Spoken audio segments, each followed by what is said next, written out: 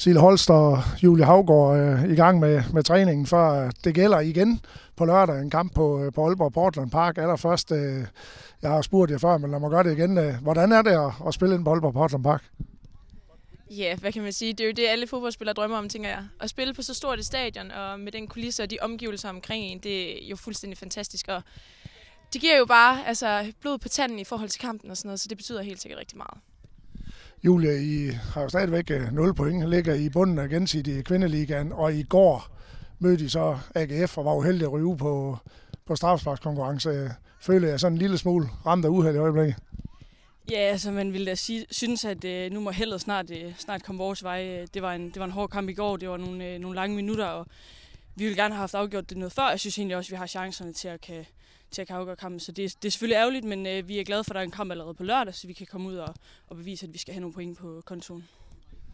Sille, du var med til det her øh, sidste sæson også, hvor, hvor man kan sige, øh, jeg ser jo i hver evig eneste kamp øh, fight, vilje. Det er ikke, fordi I ikke har lyst til at være derinde, men det er bare ikke rigtig lykkedes, at I ikke får de point på kontoen, I gerne vil.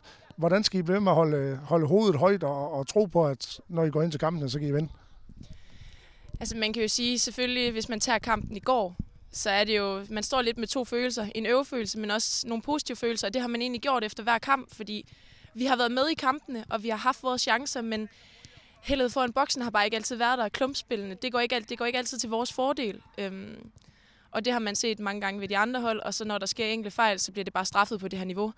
Så vi, altså, vi tager pos- altså, der er positive ting med at tage med for hver kamp, øhm, og det er jo det, vi bliver ved med. Øhm, så derfor, som også Havgaard siger, at selvfølgelig skal der nok komme point, point på kontoen, og det, forhåber vi, altså, det håber vi, det kommer på lørdag i hvert fald. Ja, Julie, den der kamp på hjemmebane øh, på lørdag, som sagt, I jagter selvfølgelig det, det første point. Øh, I vil gerne øh, have en sejr også. Øh, hvad bliver det for en, en kamp mod Nordsjælland?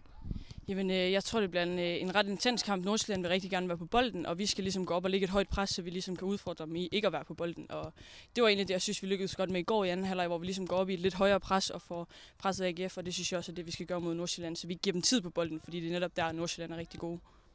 Ja, I kigger selvfølgelig på tingene, Sille, og I ændrer jo også, fordi en af de ting, jeg også synes, der lykkes rigtig godt for jer, det var nede i Kolding, da I netop går op i det her høje pres. Nu gør I det igen i går. Øh, den kamp i Nordsjælland taber I egentlig også kun 1-0, øh, og, og er godt med i den kamp også. At, at, kan I mærke, det ændrer noget, det her med det høje pres, og I, I råber bolden højere op? Ja, selvfølgelig. Øh, vi presser dem højere op, det vil sige tættere på deres mål. Det giver også flere chancer, øh, så selvfølgelig virker det, og det fungerer godt for os som hold. Vi har spillerne til det, så det er jo bare der, hvor vi skal blive ved med at klø på.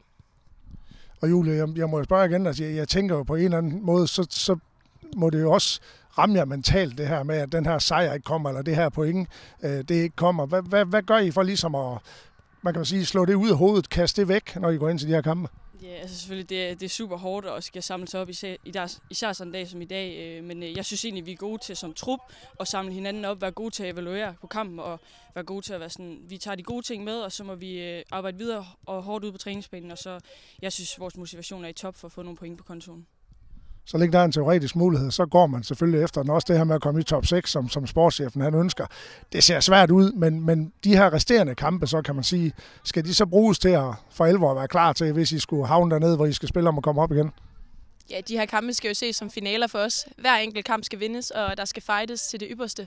Så selvfølgelig, det er nogle kampe, der kan bidrage med så meget altså til os som hold. Så det er bare hver kamp en finale, og så skal vi bare gå ind og kæmpe. Tak skal I have, og held og lykke på lørdag. Tak. tak.